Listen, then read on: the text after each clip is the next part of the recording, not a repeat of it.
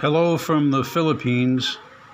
This is my solar charging transportation. It's uh, they call them e-trike, or it's actually four wheels, but it's uh, pretty straightforward. It's got a solar panel, circuit breaker, uh, boost controller, and we enjoy it. It's fun. It's it's fun to not have to worry about plugging it in. It's got two breakers, one up front for the solar panel and one inside in the battery compartment, uh, just for safety. But it's pretty straightforward. The controller does all the work. I included some stuff so you can get an idea what it cost. It all, it all came in under 2,000 US dollars. And it was not difficult. I had a lot of free time to tinker around with it. So that's my story, and uh, thanks for watching.